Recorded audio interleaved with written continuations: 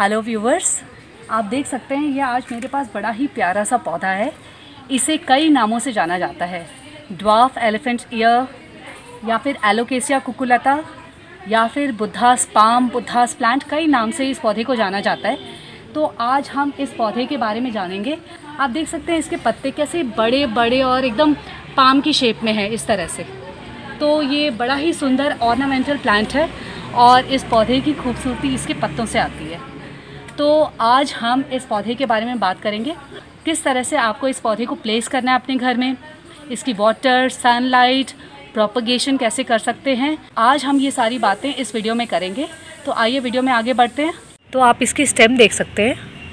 ये इसकी स्टेम बहुत ही सॉफ्ट एंड डेलिकेट होती है। तो जब आप इस पौधे को पानी दें तो थोड़ा पानी आपको ख्याल से देना है। क्योंकि बहुत ज़्यादा फ्रीक्वेंसी में अगर आप इसको पानी देंगे तो इसकी जो जो स्टेम्स होती हैं और जड़ होती है, ये गलने का खतरा रहता है।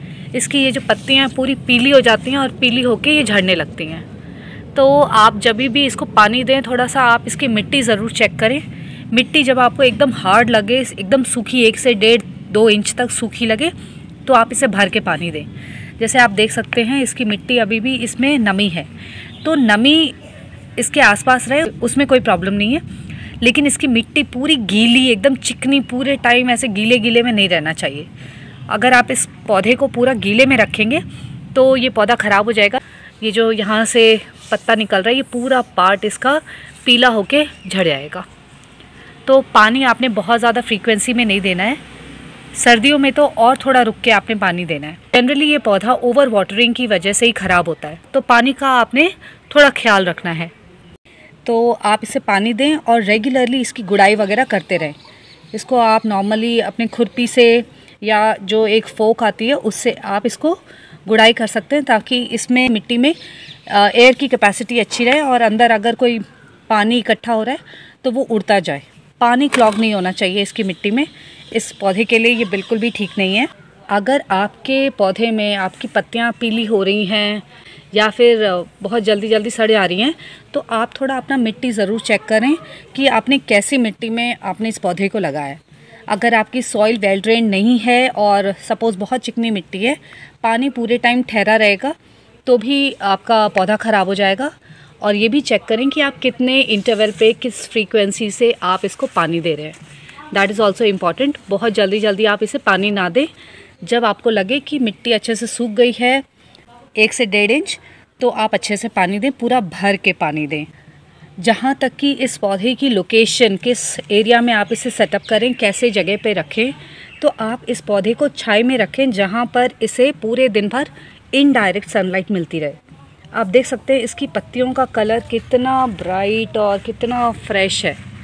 तो ये इसलिए है क्योंकि हमने इसे छाई में रखा हुआ है, हमने इसकी प्लेसिंग ही ऐसे करी हुई है कि इसे पूरे दिन भर ब्राइट सनलाइट मिलती है, लेकिन इनडायरेक्ट बिल्कुल भी डायरेक्ट सनलाइट इसे नहीं मिलती है।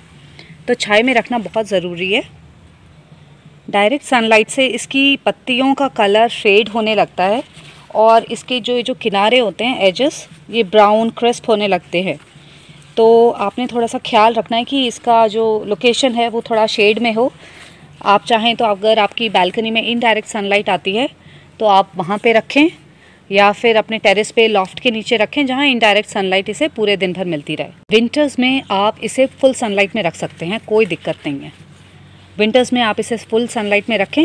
गुनगुनी धूप होती है, पौधे को अच्छी लगेगी, लेकिन थोड़ा सा समर में डायरेक्ट सनलाइट अवॉइड करें। जहाँ तक कि इस पौधे की खाद की रिक्वायरमेंट है, जैसे मैंने इसे गार्डन सॉइल में उगाया हुआ है तो गार्डन में तो ऑलरेडी गार्डन सॉइल में अच्छा खासा न्यूट्रेंट होता ही है। पर सपोज़ आप फ्लैट में रहते हैं, आपके पास बैल्कनी है टेरेस है, वहाँ पर आपने इसे लगाया हुआ है और आप इसकी मिट्टी बार बार चेंज नहीं कर सकते हैं। तो आप इसे साल में दो बार, बरसात में और जैसे जुलाई, अगस्त और सर्दियों में, फिर फेबररी में एक से दो मुट्ठी वर्मी कॉम्पोस्ट ऐसे इसमें डाल दें और जैसे जैसे आप पानी देते रहेंगे, वैसे वैसे धीरे धीरे वो वर्मी कंपोस्ट सॉइल में मिक्स होता जाएगा और पौधे पे अपना असर दिखाएगा और इसकी पत्तियाँ देखिए कितनी सुंदर लग रही हैं। तो इस तरह से आप इस पौधे को खाद दे सकते हैं। ये पौधा जैसे जैसे बड़ा होता जाता है, वैसे वैसे यहाँ नीचे से और भी पौधे निकल निकल के आते हैं। तो आप उन्हें भी निकाल के या तो प्रोपगेट कर सकते हैं या फिर इसमें ऐसे ही भरा भरा रहने दें या निकाल के गिफ्टिंग के लिए यूज़ कर सकते हैं। इस पौधे में जनरली मार्च फेबररी मार्च अप्रैल के मंथ में फ्लावर्स भी आते हैं। ऐसे यहाँ नीचे से एक लंबी सी स्टिक निकलती है और उस स्टिक के ऊपर वाइट कलर के फ्लावर्स आते हैं। तो अभी तो इसमें फ्लावर्स नहीं हैं, पर वो फ्लावर्स भी बहुत खूबसूरत लगते हैं और इस पौधे को और भी अट्रैक्टिव बनाते हैं। इस पौधे में जनरली मैंने कभी पेस्ट अटैक देखा नहीं, पर कई लोग बोलते हैं कि वाइट स्पॉट्स हो जाते हैं, कीड़ा लग जाता है। तो अगर आपको लग रहा है कि आपके पौधे में कीड़ा लग रहा है या कोई फंगल अटैक हो रहा है तो आप थोड़ा फंजी साइड का स्प्रे कर सकते हैं। साथ ही आप चाहें तो इसकी सॉइल में थोड़ी सी नीम खली भी मिला सकते हैं। उससे भी थोड़ा ये फंगल अटैक से बचा रहेगा। तो इस तरह से आप अपने पौधे को फंगल अटैक से बचा सकते हैं। थोड़ा इसमें मैं बार बार यही बोल रही हूँ, आपको थोड़ा पानी का ख्याल ज़रूर रखना है। बहुत ज़्यादा पानी नहीं डालना है, इसमें मेन प्रॉब्लम इसकी जड़ गलने की आती है। जड़ पूरा ख़राब हो जाता है। तो इस तरह से आप इस पौधे को बड़े ही आसानी से लंबे समय तक अपने घर में रख सकते हैं। हमने देख लिया कि इसको वेल ड्रेन सॉइल चाहिए होता है। शेड में रखें आप इंडोर रखें या आउटडोर रखें। शेड में रखें, ऐसी जगह रखें जहाँ इसे खुली हवा पानी मिलती रहे। तो आप देख सकते हैं, आज हमने ये एक एलोकेसिया की एक कटिंग निकाली है। इसके जड़ आप देखो कितने अच्छे से आए हुए हैं और इसको हमने बस काट दिया, ये देखिए। और इसकी क्योंकि यहाँ पे जड़ है और ये इतना बड़ा पत्ता है, ये बड़े आराम से प्रोपोगेट हो सकता है। तो आप इस पौधे को आप रूट डिवीज़न मेथड से इस तरह से आप आसानी से प्रोपोगेट कर सकते हैं। तो आइए इस पौधे को हम अपने गमले में लगाते हैं, जिसको हमने प्रॉपर गार्डन सॉइल से रेडी किया है।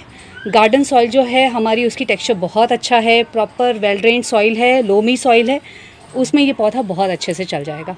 तो आइए इस पौधे को लगाते हैं। तो ये एक हमारे पास सेरामिक प्लांटर है, जिसमें ये रोज़ लगा हुआ है और ये बिल्कुल भी ठीक से चल नहीं रहा है, एकदम डंडे जैसा खड़ा खड़ा हो रखा है। तो इसमें से हम इस रोज़ को निकालेंगे और इसको गार्डन में शिफ्ट करेंगे और इसमें हम हमारा ये जो एलोकेसिया की कटिंग हमने निकाली है, इस कटिंग को आज हम इस अपने प्यारे से सेरामिक प्लांटर में लगाएँगे। तो आइए लगाते हैं। आप देखिए इसके पत्ते कितने प्यारे हैं और कितने लंबे लंबे हैं। अब इनके पत्तों का आप शेप देखिए, ये एकदम पाम जैसा दिखता है। तो इसीलिए इसको बुद्धास पाम भी बोला जाता है। अगर आप थाईलैंड वगैरह में जाएँगे तो आप देखेंगे कि वहाँ पे जो बुद्धास टेंपल होते हैं, वहाँ के आसपास ये इसके बहुत सारे पौधे लगे हुए होते हैं। तो थाईलैंड में तो इस पौधे को बड़ा ही ऑस्पिशियस माना जाता है, शुभ माना जाता है और हर किसी के लिए लकी माना जाता है। पर यहाँ पे इंडिया में हम इसे as a ornamental plant grow करते हैं। तो इसको मैं इस प्यारे से सिरामिक प्लांटर में लगाऊँगी। इसकी जो मिट्टी है, वो मिट्टी भी हम पूरी चेंज कर देंगे। तो इस तरह से थोड़ा सा हम इसको लूज़ करके इसकी मिट्टी निकाल देंगे। तो जब भी आप प्लांट कोई नया पौधा लगाएँ तो उस सिरामिक प्लांटर में या कोई भी गमला है, मिट्टी का भी गमला है तो उसमें जो भी मिट्टी है पुरानी, उस पूरी मिट्टी को खाली कर दें और फ्रेश गार्डन सॉइल डालें। इससे जो पौधे के लिए न्यूट्रिएंट्स चाहिए होता है, वो सब कुछ गार्डन सॉइल में होता है, वो सब कुछ फिर फ्रेश तरीके से पौधे को मिलता है, क्योंकि नई कटिंग हम लगा रहे हैं। तो उस पौधे को ग्रो करने के लिए नरिशमेंट भी चाहिए। तो हम इसमें प्रॉपर गार्डन सॉइल डाल रहे हैं। हम इसमें कुछ भी कोकोपीट तो बिल्कुल भी अवॉइड करें, आप इस पौधे में डालना, इस पौधे की मिट्टी में डालना। आप चाहें तो एक इसका प्रॉपर वेल ड्रेन सॉइल भी बना सकते हैं। Fifty percent garden soil twenty five percent रेत और twenty five percent vermicompost डाल के। आप इस तरह से अपनी अच्छी सी मिट्टी वेल ड्रेन मिट्टी बना सकते हैं। पर यहाँ पर हमने गार्डन सॉइल ली है। गार्डन सॉइल आप देख सकते हैं, इसका टेक्सचर बहुत ही अच्छा है। ये देखिए, एकदम ही लूज़ है। तो इसमें पानी बिल्कुल भी नहीं रुकेगा। तो हम इसी में अपनी कटिंग को ग्रो करेंगे। तो आइए इसमें अपनी कटिंग लगाते हैं। सो बस हमने इसमें थोड़ी सी नीचे सॉइल डाल दी। इसमें ये पौधे को प्लांट कर दिया और फिर चारों तरफ़ से हम थोड़ा मिट्टी डाल देंगे ताकि ये अच्छे से सेट हो जाए और बिल्कुल भी इधर उधर गिरे नहीं। तो इस तरह से आप इस पौधे को बड़े ही आराम से प्रोपोगेट कर सकते हैं। रूट डिवीज़न मेथड से नीचे से आपको निकालना है। इसमें से आप चाहें कि आप ये पत्ते निकाल लें यहाँ से और इस पत्ते को ग्रो कर लें तो इसमें ये पॉसिबल नहीं है। इसके पत्ते इस तरह से ग्रो नहीं हो पाते हैं। आपको इसको प्रॉपर नीचे से ही, जैसे मैंने आपको दिखाया था अभी प्रॉपर नीचे से ही निकालना पड़ेगा और वहाँ से आप निकाल के इसे अच्छे से ग्रो करें। थोड़े टाइम में जब ये पौधा इसमें सेट हो जाएगा तो इसमें अगल बगल से और भी इसके पप्स निकलने लगेंगे और ये पूरा भर जाएगा। तो आपको लगता है कि ये आपका सेरामिक प्लांटर इतने पौधे के लिए सफिशेंट नहीं है? तो आप उसमें से भी कुछ पौधे निकाल के और दूसरे किसी सेरामिक प्लांटर में शिफ्ट कर सकते हैं गार्डन में लगा सकते हैं या फिर किसी को गिफ्ट कर दीजिए। तो दैट विल बी नाइस इस तरह से आप इस प्यारे से पौधे की मिट्टी तैयार करके इसको प्रोपोगेट कर सकते हैं। देखिए, इसमें भी कितने अच्छे से चल गए इसके पत्ते कितने सुंदर लग रहे हैं। सो so, व्यूवर्स अगर आपको आज की इन्फॉर्मेशन जो हमने इस वीडियो के थ्रू दी पसंद आई तो वीडियो को लाइक ज़रूर करें। साथ ही मेरे चैनल को सब्सक्राइब करना ना भूलें। मिलते हैं नेक्स्ट वीडियो में। Bye bye